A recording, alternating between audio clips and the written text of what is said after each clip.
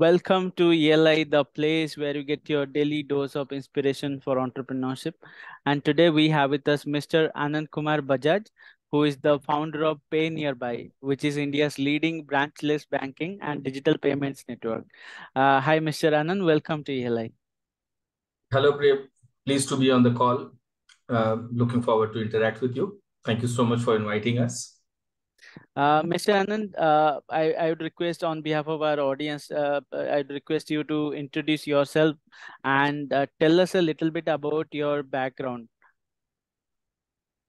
Um, uh, well, uh, I can go to two past. Um, when I was born in Kolkata, and I was um, sent to a school in Rajasthan, BPS Pilani, when I was age five I had failed in the admission test, and uh, still the headmaster chose me because I was asking him more questions than he asked me, probably. And that's where the journey started of being inquisitive, or the curiosity killed the cat, as they say.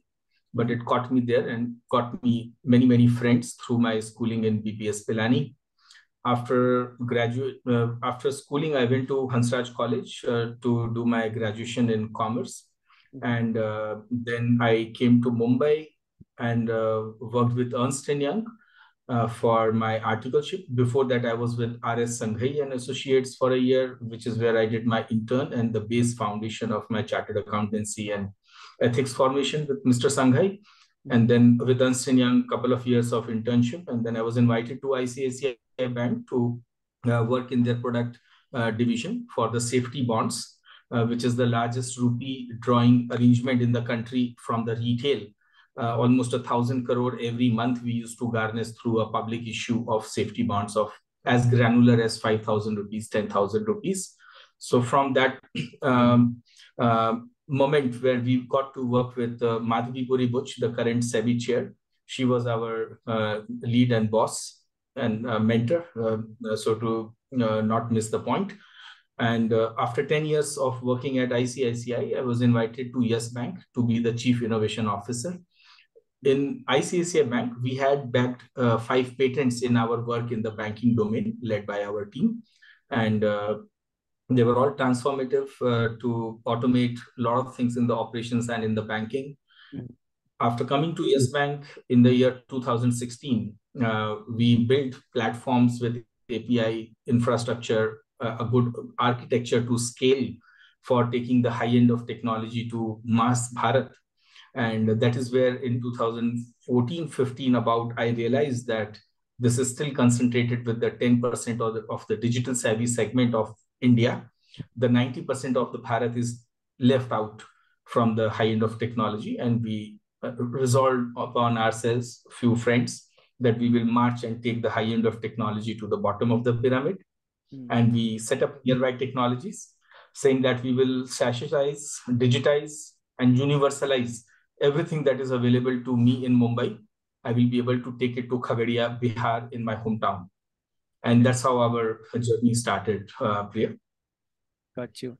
So, uh, just curious, after all these years of working in corporate, how did you transition into entrepreneurship and why did you uh, choose to do that? Well, I would say nothing is different. Actually, nothing did I choose to do different. Um, uh, all through in the banking, we worked as an entrepreneur because most of our works were project driven and they were all uh, sensitive to timeline, to uh, uh, productivity, to impact, and hence we chose the projects and the way of work was an entrepreneurial work style, uh, both in ICICI Bank and at Yes Bank. So there is nothing different, just that we used to get salary there. Uh, here we are blessed by the Almighty to pay salary to many people. Many friends have joined us, and that's about it.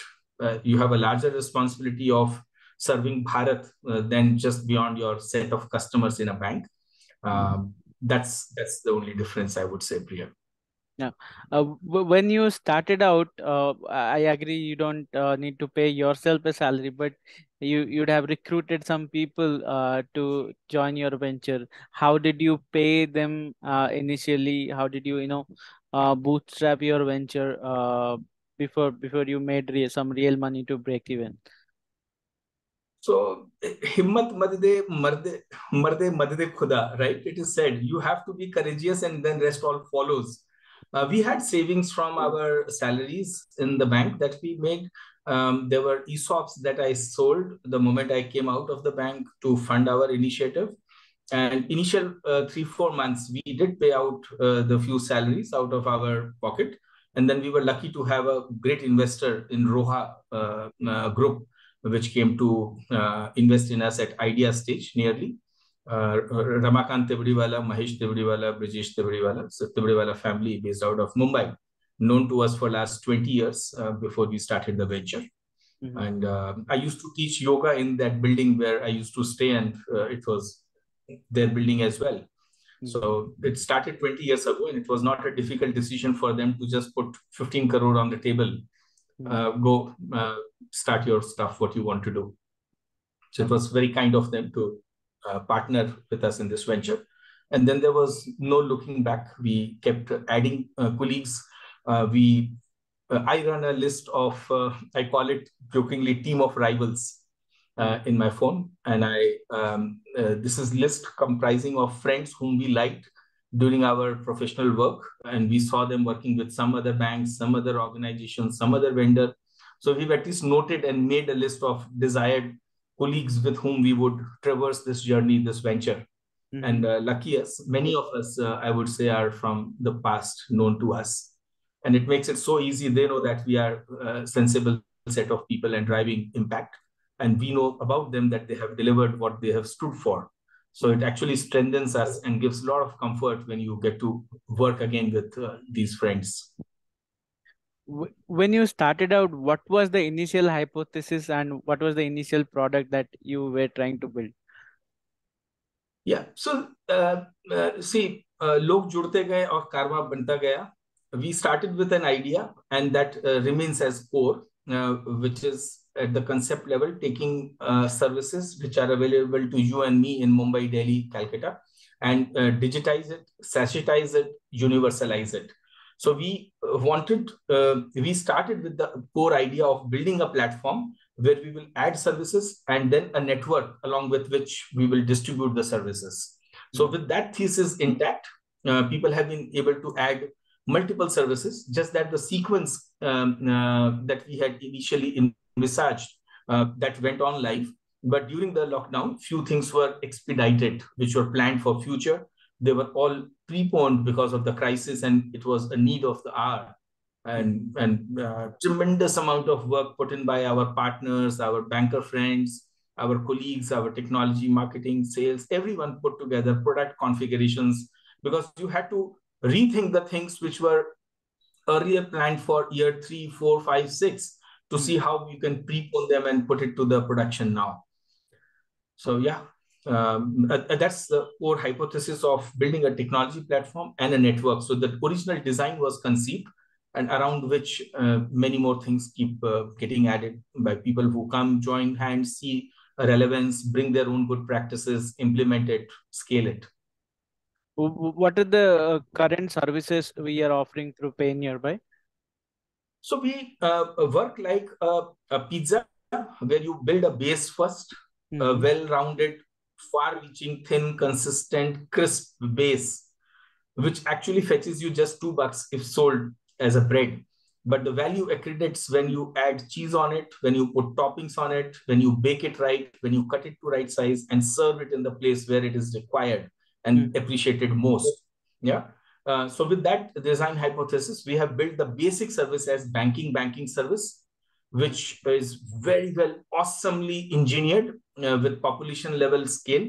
Uh, we can handle and rebank Bharat is what we say that we can handle more and more population with the design of uh, the architecture that we have built. Okay. Uh, we um, bring more footfall because of those banking base banking services to the retail outlet. Mm-hmm. Essentially, the retailer is a merchant, so he needs all the digital payment threads so we have integrated a micro ATM, a micro POS, a UPI QR, or a link-based payment, or Aadhaar Pay, and a homegrown khata, because that's how the retailer operates. Now, right. when you have transacted, you have integrated and engaged them for multiple other services. Uh, obviously there is terabytes of data that has been accumulated that builds a score called Bharosa score, credibility score, not a credit score. So most of our retail partners are new to credit, and hence we generate this uh, Bharosa score, basis which uh, our partner banks, partner NBFCs provide loans, micro loans to our retail partners. Mm-hmm. On the side, as a topping, we have bought an insurance broking company in 2018 uh, with great friends. Murli Ayer and team came along as AccuHire, and they manage and run the show today.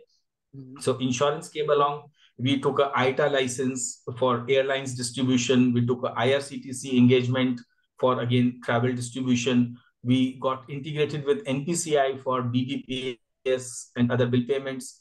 During the lockdown, uh, Priya, about 70 NBFC microfinance institutes and banks came to us uh, seeking collaboration where in the deep rural, they have lent, but their sales team were not able to, collection teams were not able to go and collect the money. And hence our retail touch points were very relevant to them. So their customers used to come and deposit money at our outlet. So these were the few services, but one key part is that what we have delivered actually is a sachet of trust. Mm-hmm. Just before the lockdown, glad that this platform was ready and we were seeping into the deep inter- hinterlands of Bharat. When during the lockdown, government of India was dispensing subsidy, the policy objectives of helping people sustain mm-hmm. in the bank accounts, our retailers were the ones who were giving it in the hands of citizens. So this is deemed uh, good governance and uh, almost a sovereign grade of uh, credibility. So it augmented credibility of our retail partners, and this credibility is being um, further augmented by uh, partners like Bajaj Finserv, Hero FinCorp, L&T Finance, many more coming together, sending their customers and agents to our network to utilize the network. So credibility begets credibility, and this further augments uh, comfort to the citizens in the area with the same retail partner whom we call Digital Pradhan. So the Digital Pradhan ultimately gains some momentum and people end up buying a lot of grocery also from the same store. Hmm. So the same store service growth is what uh, is a is a subtle outcome of uh, our endeavor. Got you. So uh, you, you said one part of your uh, uh, architecture is the services that you provide, but at the other end, you have the network uh, which yeah. distributes uh, the services. So tell us about that network. what is it? What is it? Is it a digital network? How you have built it, uh, and what are the uh, different components in the in the chain? Wonderful. So so this is a digital network. Uh, it's a network of physical shops and women entrepreneurs as self-help group members, mm-hmm. and it is a neural network with a two-way transmission protocol. It relays services, it gets us back some data insights. Mm-hmm. So this network has been formed just like an FMCG network or a telecom network in partnership with field team, field partners who help us identify the right retail touch point, whom we train, whom we do due diligence on, their bank account, their PAN, their Aadhaar auth. All those things are then carried out with uh, our partner bank and then we onboard them as a banking correspondent agent. So that's the most sanitized way of onboarding any partner as a banking correspondent, where our partner bank is helping us to do a proper due diligence of the retail outlet. With the lat long tag, with the mobile number OTP verify, this has become a gold standard. Trust me, Priya. What we have built is now good for the industry as a, as a standard people appreciate and they are able to see the advantage of what we have built. So it's being replicated, and we are uh, always very happy to see what we can contribute in the ecosystem. So it builds a good governance, good retail outlets, uh, better services to citizens. The outreach is much more convenient. You can relay many more things because these are intelligent set of identified retailers who have touched financial services. Yeah. So uh, I read it somewhere. PayNearby has has been recognized as a DPIIT certified company. Could you please explain what is the significance of that standard uh, in in fintech and uh, it's, uh, the Department of uh, uh, Internal Promotion and Trade, the DIPT that used to be you now for promoting the internal trade. DIIPT is the Government of India Startup India program yeah, the Startup India program was very tough in the initial days when we got our accreditation certification from them. It was a process to apply to them. They would check on us if we are good guys, right guys, commendable people, doing something innovative, uh, uh, impactful. So it took us about nine months uh, to get that certification done. And we uh, almost had given up finally that it looks like the uh, same set of rigor questions being asked by different level of people. But we appreciate the, the entitlement, if I may call it, uh, that we were eligible for and we were duly approved. So there is a Government of India program where uh, for certain um, throughput of your uh, turnover, if you are within that range, you get certain tax benefits, advantages, uh, pre preferences to participate in government uh, contracts, and so on. Yeah. Uh, it's a wonderfully conceived program. Today, many more startups are registered, and there are great supports being given out to facilitate their growth.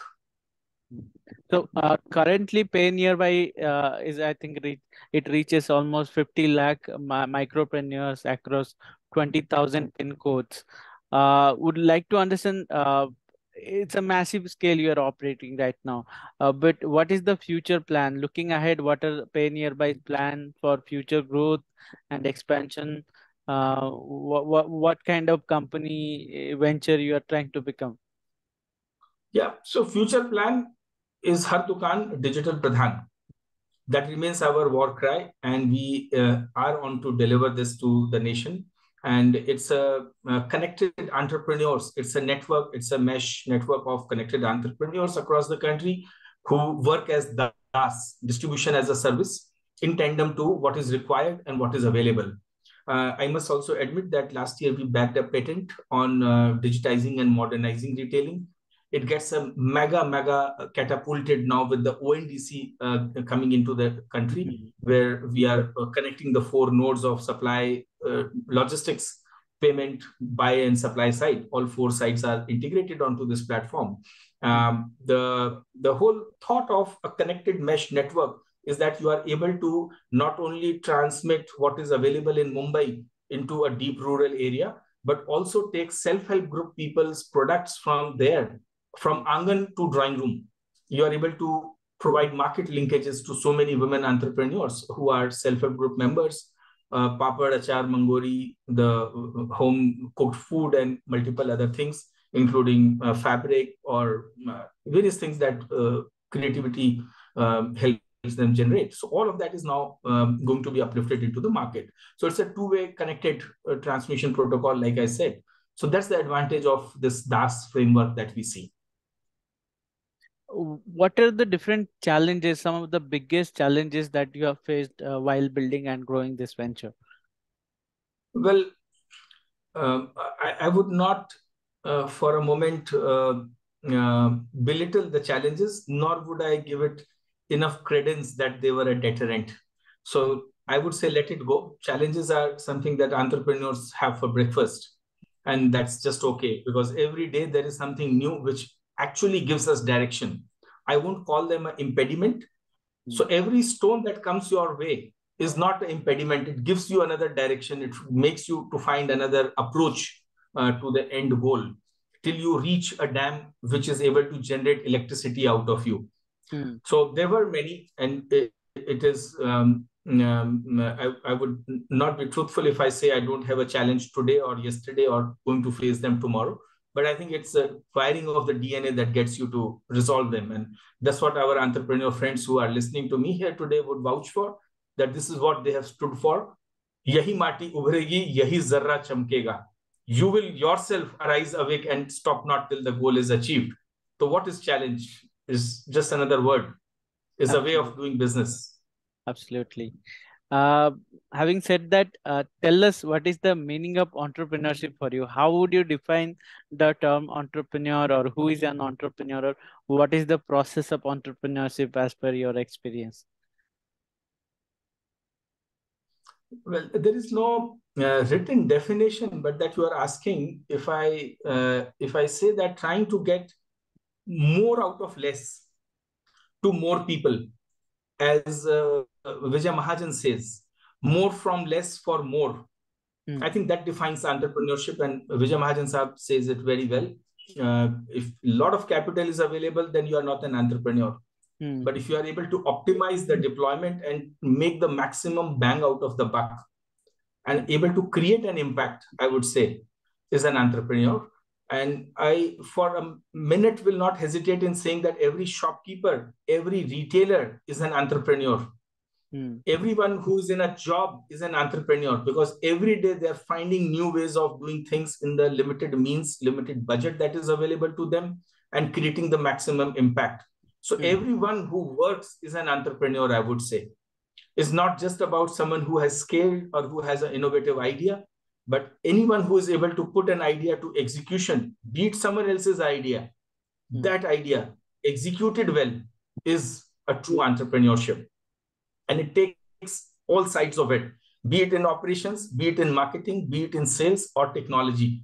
Everyone sitting and delivering a tech stack is an entrepreneur because it's part of the team. Everyone in an organization helps deliver it collaboratively. And every individual, it will not be wrong to say that a thelawala selling vegetable is an entrepreneur. Mm-hmm. The micro entrepreneur in true sense, he goes to Vashi or Azadpur Mandi to buy 500 bucks of vegetable and goes to a point where it is required and sells it for 2000 rupees at end of the day. Everyone is an entrepreneur. If it delivers value to more people, and simultaneously creates value for you. Hmm. I think that's the definition of entrepreneur, I would believe. Finally, my last question. Tell us all these years of entrepreneurship, what it has taught you. What is the top three lessons uh, that you have learned that we can uh, take away from uh, your journey and probably apply to our ventures and our lives as well? Well, I, I would say at least I pay premium to what I do uh, by listening well. So if you have to understand, listen, and interpret the signals, that is one key important thing of an entrepreneur. Uh, second, I would say is to be able to articulate is equally important. That what are you wanting to do, and if the person will be able to deliver uh, or not. So you have to articulate it very well. Mm-hmm. And third, I would say is believe in the team you are not alone in this. So you have to create a team, you have to have partnerships, and you have to place reliance on them. Mm. And it's a concerted, cohesive effort. It's not an individual sole uh, drive. So I think listen well, uh, articulate equally well, and be able to collaborate, co-create. Uh, that's uh, what is important, I would say. Well, on this note, uh, we will uh, close the session. Thanks for your time, Mr. Anand, and it was a pleasure to have you on our platform and our best wishes for PayNearby. Most delighted, Priya. Thank you so much for asking those intelligent questions. I thoroughly enjoyed it. Look forward to connect again. Thank you. Bye-bye.